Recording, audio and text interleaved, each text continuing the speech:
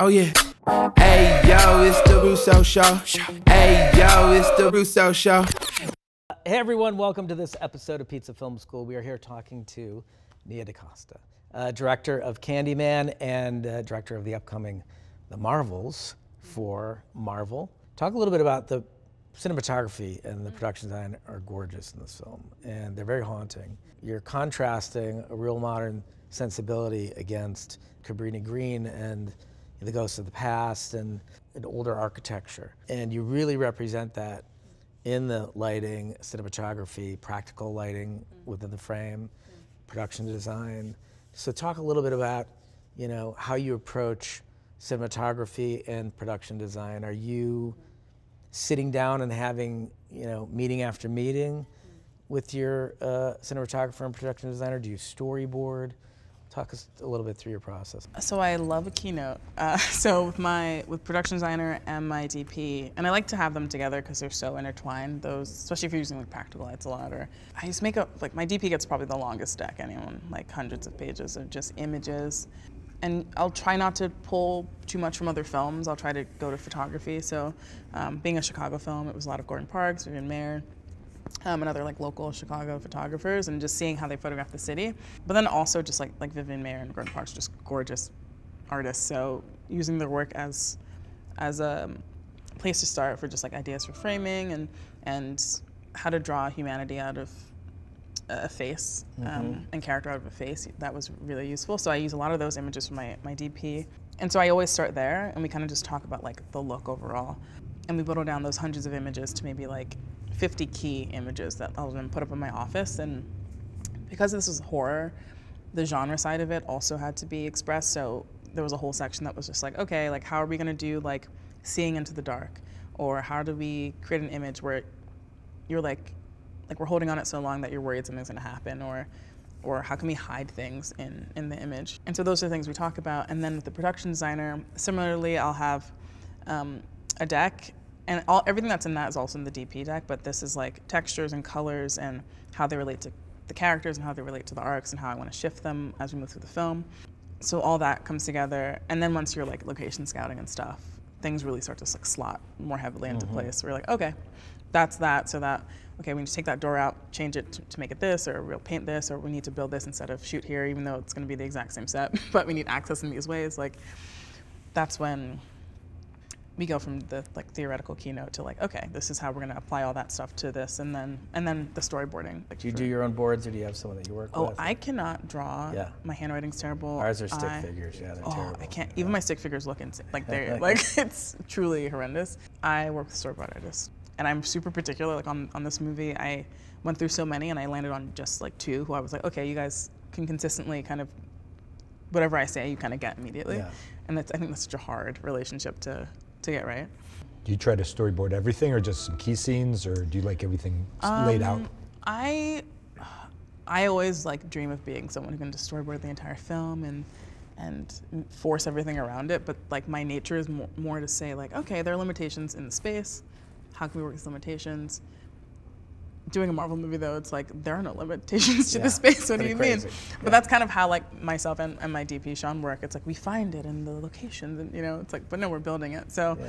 I really leaned on my production designer uh, to kind of create certain parameters that then we could break or then stay within. Wait, I lost your question. I was asking about yeah the extent to which you storyboard and oh, sort right. of plan um, out the movie versus yeah. you know figuring out on the day. Um, for the Marvels, it was basically all the big like actiony sequences where I had to communicate to all the department heads like what the F we're supposed to be seeing or what's going on. That was storyboarded. Then everything else we kind of did on the day. But sh- I shot listed everything. I shot listed the entire movie. On Candyman, actually same thing. Candyman. I, I've never successfully shot uh, storyboarded an entire thing, but I always go into every day with a shot list. run out of time eventually for everything. I mean, yeah. yeah. it's like really just like, okay, we'll figure it out on the day. Yeah. Then actors are always like, I just feel like the window is hurting my soul. I need to go over here. And you're like, okay, go over there. I actually love actors and love working with actors. I don't know I'm being so mean about them right now, but I've had the best experience with actors. Um, but, do you, uh, speaking of actors, when you block, do you, when you tech scout, are you figuring out where you want things happening? Or are you more on the day, let's rehearse and see what happens and we'll figure it out? What I've gotten to is sort of a, um, I'll come in and I'll say, like, here's what I was thinking for the scene. Like, here's why I would love you to start. Probably don't want to end up in this co- corner because we can't cover that. But um, but let's just see what you guys are gonna do. I like to start with just like, here's what I'm thinking, but like, do, do whatever you want. And then we'll like block a couple of times and I'll kind of shift and change and I'll watch and see if there's something maybe better and see how they feel and obviously they always have like things they want to do or it feels right. And then I'll bring the DP in if he's not there the entire time and I'm like is any of this gonna fuck you up? Like is any of this like anything slightly to the left that might be better? And then kind of get everyone. So we're, we're all collaborating because I the thing I really find difficult is like if an actor is like not understanding that they're a technician, like Right. that they're a piece in a thing that like has to be specific, like that I can't really. You, it doesn't. It doesn't make sense. So do you're like a film. trained actors over method, quote unquote, method actors? I like trained actors a lot, just because you can talk to them Mm-hmm. Logically, and you don't have to like do like emotional manipulation, unless that's something clearly they need to get to a place You or. don't have to call them by their character name or, you know. I don't mind doing that, but like you know, it's like you don't have to be like, I don't know, like abusing them like mentally, like Yeah. about something else the whole day, so that they can be like sad for the, you know. Take 65. Exactly. Yeah. I don't know. I'm like no, no, no. Like, it's like that's why like I can work with children, and but I I, I don't enjoy it as much because Yeah. children don't know what's going on. Um, although the kid in my first movie was amazing, and I could just be like, hey, can you. Um, be sad in this scene. He's like, yeah, okay. So what was I? What was I? What was I doing before? And I was like, oh, this this happened. He's like, okay, cool. And he could like ad. He was seven. He could like ad lib. And um, once I said, okay, once your dad gets to this point, like you're gonna run up to him. He goes, where? I said there. He's like, okay. And he put a mark down for himself. I was like, you're amazing. That's really funny. I, was so love he was the best. I loved him so much. Although one day he was being really loud, and I was like, "Can you please just be quiet for five minutes?" He goes, "No," and I said, "Why not?" He's like, "Cause I'm a kid." and I was like, damn. "Okay, you wouldn't be a normal seven-year-old if you were too perfect." But I don't know. I had this thing with my friend. She was like, "You don't like non-actors, do you?" And I was like, "I love a non-actor, but they have to be able to act. Right. Like I hate the like." Yeah, non-actors are in this film, and you, you know, and I'm like, but if they're bad, Right. what are we doing? Yeah, like, what's the- what are, like what did we get out of it? If, cause, because they can't act. I don't understand. So that's my like. I just want people to be able to do their jobs. That's all. Have you ever started shooting a scene that you went, oh, fuck, this isn't working, uh, and then reblocked it and started over? Has that ever happened? Oh yeah, multiple times, hundred percent. Yeah, and it's.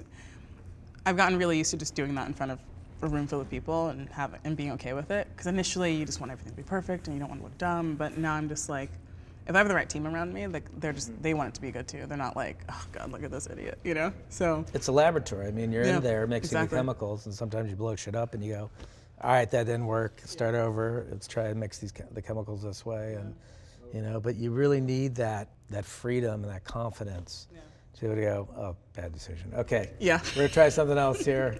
I'll be Uh, like, "Yeah, uh, Tara, who's my VFX Yeah. supervisor, who just is, has great taste in general. I'm like, that was dumb, right? And she's like, you know, I just, you know, and I'm like, it was Yeah. stupid. Okay, let's do this a different way. You know, Yeah. like it's just useful to be able to. and have that, trusted yeah. collaborators that you can Exactly. ask or gonna be honest with you about." Yeah. So, you know, you talked uh, really interestingly about the cinematographer and the production designer, but what about editor? Is it is that different for you? How do you approach your collaboration with the editor? Um, I like the editor to read the script, like during prep, because I just thinking about transitions is really helpful and and creating good transitions. I think because that can be kind of lost in, the, especially if you're not shot listing the entire thing. For me, it can get lost in in the process. So I have her or Katrina, but now Katrina and Evan, like read the script and prep, and then we just talk about like their thoughts, initial thoughts, and um, and Katrina's worked with me for a while, so she'll know the things that I always argue with her about that I always wish um, I had done. so she'll be like, "Hey, there's this thing. I just want to warn you." And of course, I always say, "Listen, we're we're not making garbage. Why would you suggest that?" And then I'm like, "Why didn't I get that shot?" And then I, I'm not really someone who likes to go into the edit during the shoot. I like to pretend I it's not happening. And I mean, I, I eventually end up going in there like once a week or so because they force me to. But um, I really I like to pretend that all I'm doing is shooting, and then I'll be free. And then um, I take two weeks off, and I go into the edit, trying to pretend I didn't just shoot all of that. And I'm just like, do we have this shot? And they're like, you know, we don't because you were there. And I'm like, mm-hmm, great, great, great. Um, I have to compartmentalize really deeply. But do you like staying fresh for the assembly? You want to see the assembly, Yeah. process it, and then start from there rather than like going down the rabbit hole every day. I can't. Yeah. Yeah. Also, I love to just I I try not to work in when I'm shooting in the evenings and the weekends, unless and I and obviously I have, but um, usually when it's a script thing, um, when I need to like write over the weekend, rewrite something, or when um, uh, it's just a casual like, oh, we have to change the way we're doing this entire sequence, so um, let's figure that out. Yeah, but I try to protect myself. As People don't tell you how physically and emotionally draining making a movie is. And if you don't preserve your, you know, health over the course of the film, then you'll deteriorate and you're functioning at like, I mean, we've had projects where like functioning at like 20% by the end of it. And, you know, you're just making bad decisions and you're not all there. And then if the crew's not all there and you're working them too long and, you know, then it's, it's got this effect that, uh, you know, over the course of the movie that you could just see diminishing returns. So it's really important to protect yourself. So I like, I love that that you you protect your nights and your weekends, try to preserve your sanity. I think keeps you fresh for processing and going in every day. Um, do you plan ever for reshoots? Are you the kind of person that goes, look, I know I'm going to get 90% of this right, and I want to make sure that other 10% I've got um, some money. So I had a big ego about reshoots, like when I started, but also I think that's just like being naive about about making movies. Right. We were talking about additional for for Candyman. I was like, listen, I think this is great that we have space for it. Uh, my ego's bruised that we didn't get it perfect, like initially, and and then clearly during the Marvels, it's like they like plan, they're it's already planned It's in, like, just like it's built into the whole thing. yeah, process, which right? and I love that. It made it's it's like makes it such a great experience because you just know like okay like we're always gonna try to get it right like Yeah. and do better and like everyone who's made a movie unless you get Quentin Tarantino because he has extreme confidence in himself. You always get to the end of the shoot or you're like halfway through the edit and you're like man I wish actually I did this this and this or like oh and now I see the story thing that I didn't see before. But even with him, I don't know. I- I've heard about his process. I don't know much about it, but I do know he'll go back. Oh really? Yeah. Oh amazing okay bless his heart. That's what I've, I've heard. That he will go back and go Yeah. like, you know, he'll refine something the next day, or he'll spend days Mm. executing until he feels like it's exactly what he wanted. That's why his movies are so good. But it's the, you know, like nobody, like the pro, no prototype is meant to fly, right? So Mm. Yeah, yeah. it'd be crazy to think that, you know, you build the prototype and put a bunch of people on it and take off. Like it, it that's a crazy thing to do. So same with movies. Like why is the prototype, especially on something the scale of the Marvels? Yeah, right? impossible. Like, yeah. uh, yeah, you're shooting for 90 days. There's bound to be something that didn't work out Yeah. at some point. You know, you're exhausted, or the crew was tired, or the actor made a decision that you didn't really agree with, and then, you know, you get an editorial, and you're like, "Damn it, I should have stuck to my guns." On that yeah. I have still But- been there, yeah, yeah, yeah. for sure. It, so Yeah. you're, you know, that the ability to refine has just become part of our process. Mm-hmm, Uh, there's no value in, uh, in you know, um, thinking that you have to walk in to the edit room with a complete film. There's that old adage that you, you know, you, you make it three times, you write it, you shoot it, you edit it, uh, and each time you rediscover the movie.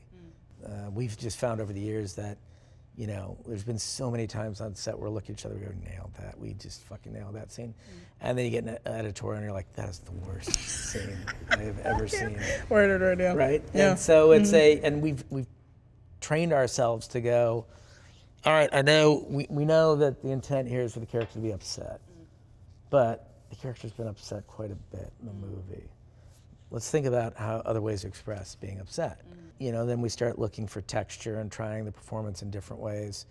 You know, we we don't do a ton of takes, but we don't cut, mm. and we tend to try something different every take. Hmm. You know? You, so you don't cut, you don't. Not at all. No, because we don't like how the energy drops. Uh, we don't want people going out to smoke. Somebody's got to go to the bathroom. Yeah, so it's sort of yeah. once we're focused on executing a Trap scene, the actor. we Yeah, want to trap really- yeah, everyone in that moment. Yeah. And we want to create energy.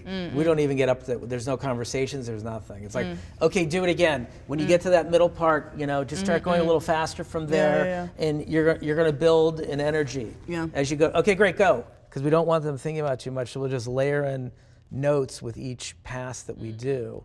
Uh, and it's a discussion needs to be had. It happens at the beginning before we go in and start rolling, or we get through you know five or six takes and something's not working, then we'll stop and have a conversation about it. But yeah, what's your process like? Do you shoot exclusively on film, or do you digital at all? I've uh, only time I shot on film is film school. Although to be fair, like I think my like my first like like black and white shorts are pretty pretty good. I look back and I'm like, wow, I really had a spark, didn't I? Like, um, and then it just tumbled from there when I started shooting on, on digital. To be honest, I so I've only shot my features on on digital. I'm hoping the next one is film, but I haven't told my producer yet, so we'll see how she reacts. Um, I'm not a big like do a ton of takes person either. Um, because you just get to a point of diminishing returns for Yeah. me. Um, I know some people kind of like, you know, it's like the sideshow Bob thing with the rake. It's like eventually it comes back around to being funny, or eventually comes back around to being good, or you've just worn them out, and that was the whole point. But I feel like seven takes is like, unless we're just really fucking it up, that's sort of like my my max. Kind Us of, too. Like you get to Yeah. seven, and it's like, all right, you're, yeah. you know, it's Yeah. it's it's, uh, it's going to go in a different direction from here. Yeah, because like especially if like an actor's really in it. Like I the times where I where I won't cut is when I need an actor just to get there, and I'm like, hey, let's go again and again and again and again.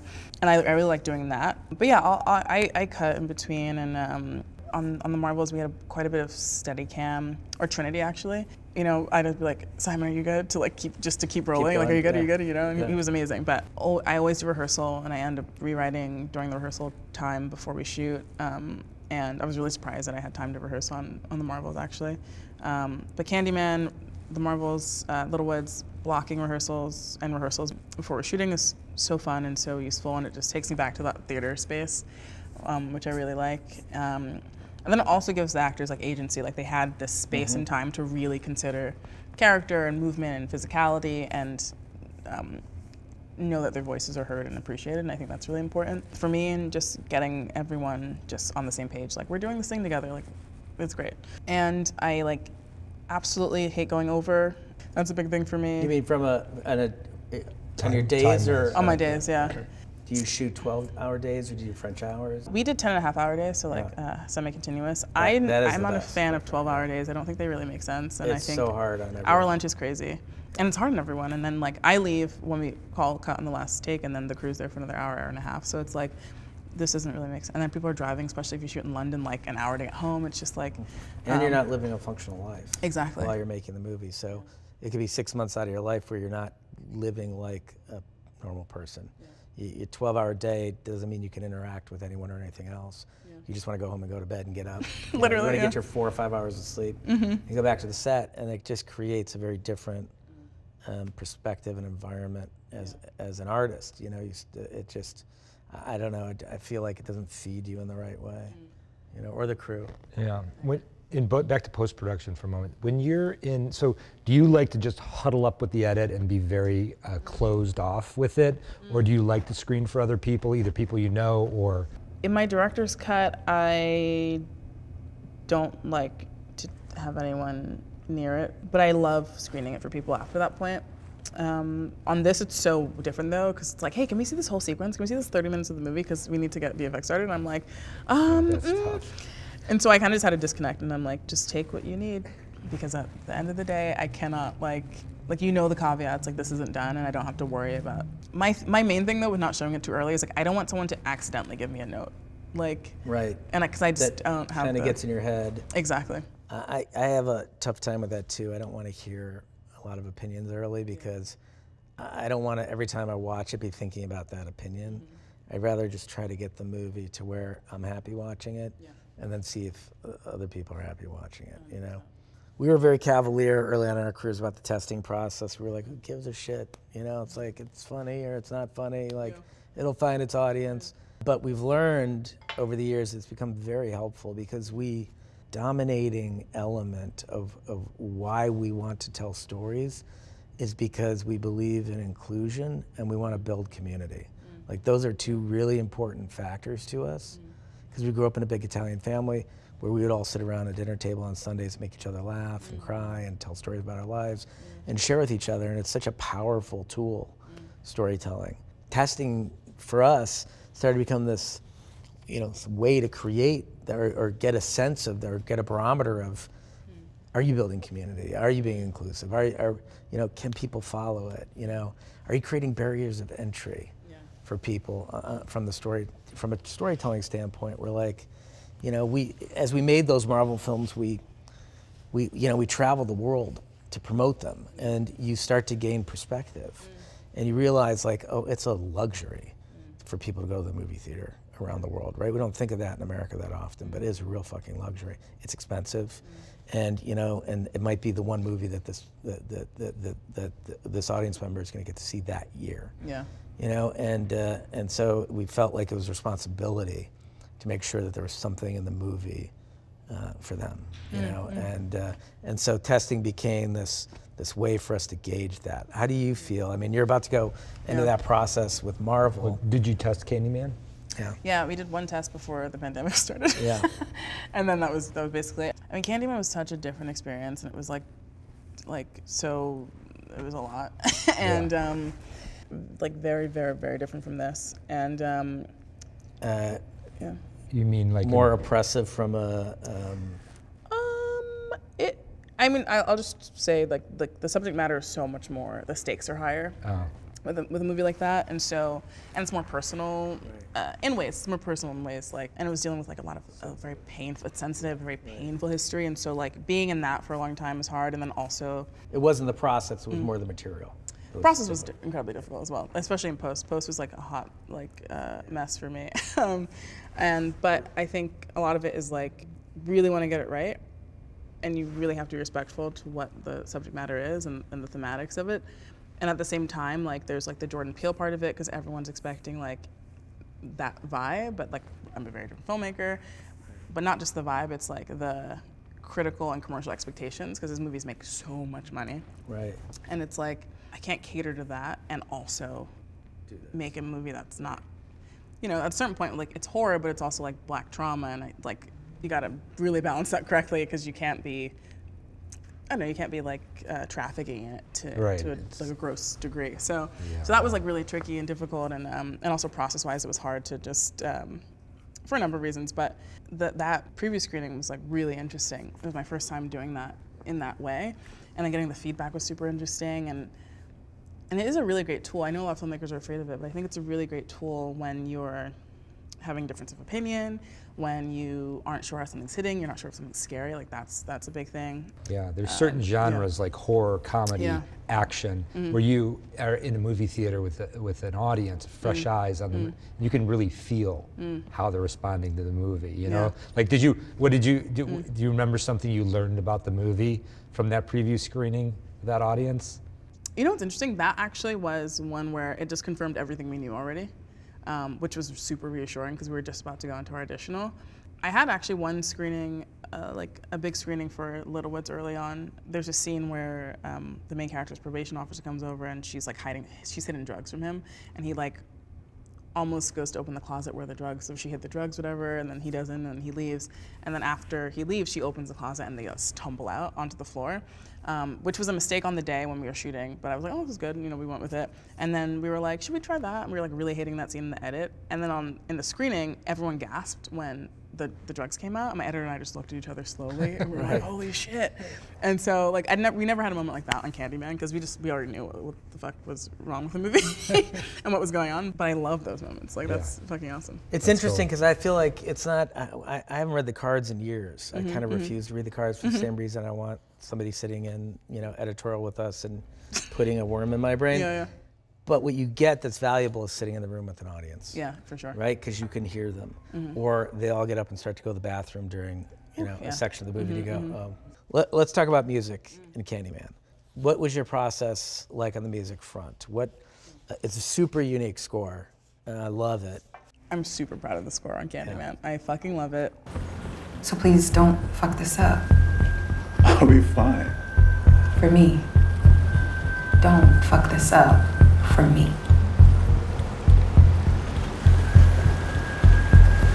That was one of those things where I could tell that like the execs were like, hmm, Yeah. you know, and but it was because I was like, we, it just needs to be as unique as that Philip Glass score, and it needs to be psychologically disturbing, but also like a siren call in its own way, and it just we just have to let it be what it's going to be, and um, and uh, our composer Robert Lowe, like he is a musician who does not make like the conventional doesn't make conventional music and and he got the story and he's like lived in Chicago for a really long time and he and he was just the perfect person to do it. So my producer Ian actually he was the one who introduced me to him at like the after party for the Us premiere.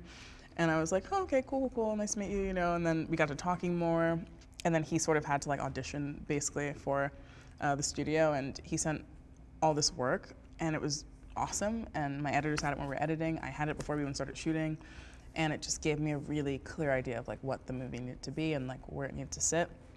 And then from there, we kind of just was a lot of conversations. Like, okay, this scene needs to feel like this. Like, we never really wanted to do like jump scare sounds. There's like maybe one in the movie. Um, so it's like, okay, how can we create a scary atmosphere and how can we create shifts that are jarring but aren't like, you know, the like violin like, like thing that's like kind of typical to horror films, which I love, but I knew this wasn't that this wasn't it. And then there was a really great period in the edit where he was in the same house as us editing and he could come in, we'll show him something, he can go literally write something for it and like it was such a nice um, awesome collaboration um, with him. And yeah, and he created this like beautiful, haunting score that I think is such a beautiful sort of response to the to the original film score. Yeah, it's incredible. Um, yeah, thank you. Um, he's he's he's amazing. He's so great. I was like, And- we've got to steal this for temp score somewhere. please do, please. All right, so we always close out every mm. episode with something we call small bites. They're mm. like sort of quick, mm. quick answers to quick questions. Oh, okay. I'm So- definitely gonna get myself in trouble here. yeah. We'll kind of go back and forth. They're, these are softballs. They're pretty easy. Mm-hmm. So, if you could give one piece of advice to yourself in your ear- early career, what would that be? Slow down. Okay, love Yeah, that. yeah. If you could direct any other genre that you have not yet, what would it be? Hard sci-fi, um, climate change allegory. Love Nice. I feel like that's in the works for you. yeah, anyway. that's awesome. I was like, man, what haven't I done? I was gonna say space opera, but this is kind of a space opera anyway. Yeah. What do you think is the most important quality of a film director? Empathy, which is madness to me. I'm Yeah, like, I, I don't understand. Yeah. yeah. Okay, if you could shoot in any location uh, in the world that you haven't yet, where would it be? Somewhere super nice that I want to spend time in, like maybe like, uh, like the Italian Mediterranean or something. Like, yeah.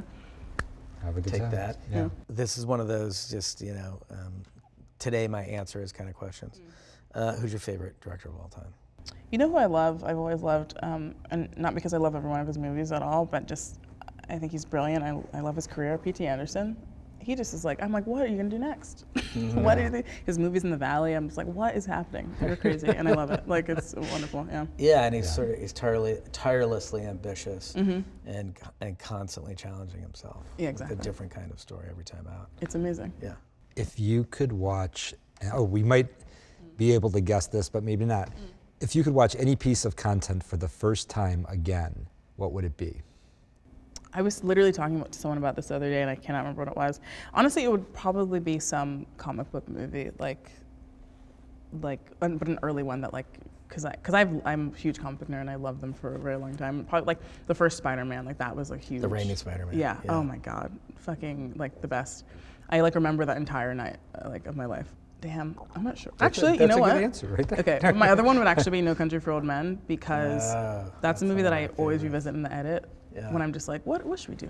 What can we get away with and what should we do? And that one's always so informative.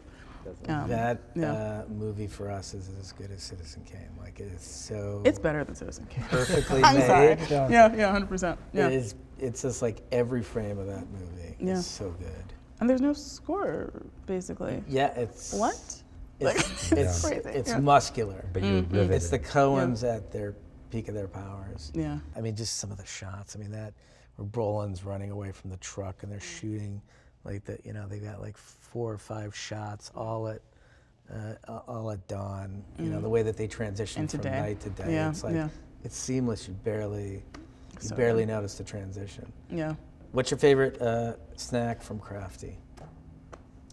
Oh man, on this last one, it was Rice Krispie treats. Yeah. Oh man, so I was, it was a real problem. Do you have like a, we're the same way we get habitual when we're working like it's Mm-hmm, Yeah. Mm-hmm, either like chocolate all day long all the time. Dove bites. Oh, like we just we I think we like cornered like we must we bought out the whole Southwest I think. one time with Dove Dove bites. It's crazy. That's so. That's really like the scary ones when it's like small chocolates that you just keep. Yeah. Just pop Yeah. Mm-hmm, them all day. Yeah. Yeah. If you could work with anybody, alive or dead, who would it hard. be? This is too hard. Honestly, um, I'm obsessed with Bong Joon-ho, and I'm not a good actor. But if he was like, I needed an actor, and you're the perfect person, I'd say absolutely. Cause I just want to watch how he like how how. I, I'd love to know. Did you ever think of just calling them and saying, "Can I come by your set one day? I just want to hang out." I was hanging out. Oh my god, no. Fly on the wall.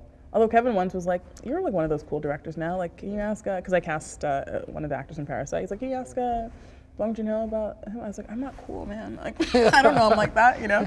Um, but I want to do that. Oh, I should, probably should. It's weird. It's like the best thing we ever Mm. did for our careers was, is after Arrested Development. Uh, so we've been at it for a couple years, Mm. and I just remember thinking one day I was like, yeah, nobody fucking gives you this rule book. Like, there's no Mm. set way to do this, and we, you know, uh, were involved in such a way on that show where we were supervising some other directors who had come in and you know helping with some reshoots and things like that, and we were going, oh my god, they their process is so different than ours. Uh, and then we thought, what if we could steal um, sort of the best elements from directors who've been doing this for much longer than we had?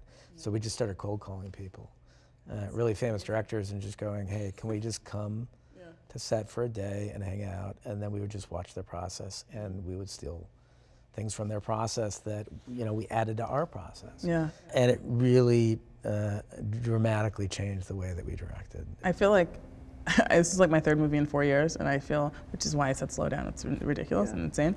And I'm like, I really should take a break and like learn more about directing.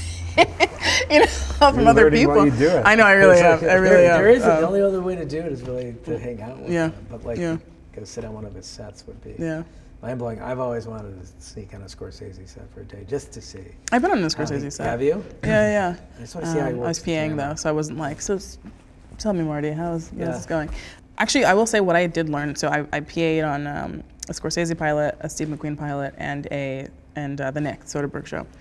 And what I learned about directing just from being a PA is like the way those shows are run completely comes from the top. The way people are treated, the amount of respect that filters down. Like I was on the Soderbergh show and a PA came into the office and they looked upset and the UPM's like, "Oh, are you okay?" And they're like, "Oh no, I just kind of got yelled at by you know someone." And she goes, "Who? Who yelled at you?" Because like we don't do that here. It's literally what she said, and I was like, "Nice." Like it just every set was different. Like leading by example, that sort of thing. Really like it was Im- impressed upon me through through that experience. But And it's again, it's critical because people do their best work when they're happy. I completely agree. Yeah. so. Yeah. Uh, we want to thank you. Thank we know you. you're in the middle of uh, your director's cut on Yeah. Mm. the Marvels. Thank you for coming in after a long day and editorial and sitting with us. Of course. And letting us uh, uh, grill you on your process. Thanks for feeding me pizza. Yes. Yeah, Yeah. of course. Uh, uh, it also, you know, I had one slice of that and I wanted to take a nap, so apologies.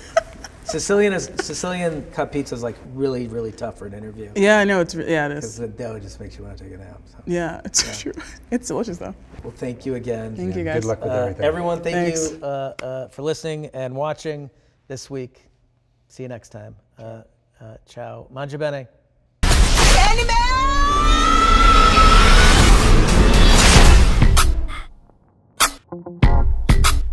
Oh yeah.